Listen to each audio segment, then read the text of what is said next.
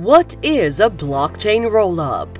Rollups are a type of Layer 2 system that process transactions on a faster blockchain and then transfers the transaction data back to the mainnet at a fraction of the cost. This allows users to benefit from faster and cheaper transactions while still enjoying the security of the mainnet. There are two main types of rollups, optimistic and zero knowledge.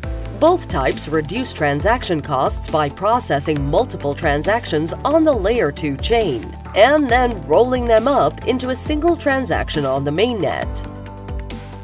Optimistic rollups assume that all transactions within a rollup are valid and give network participants a week to contest fraudulent transactions. While quick, it takes about a week to withdraw funds from popular networks such as Optimism or Arbitrum, Zero-knowledge rollups use a complex piece of cryptography called zero-knowledge proof to determine the validity of a transaction using minimal information.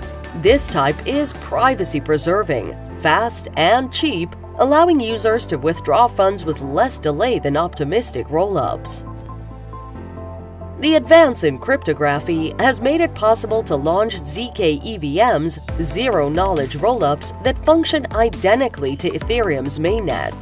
These newer rollups support any application developers would like to build on Ethereum, making transactions vastly quicker and cheaper for end users.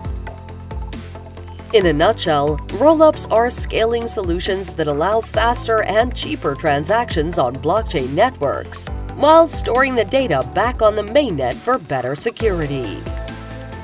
Subscribe to Satoshi Club.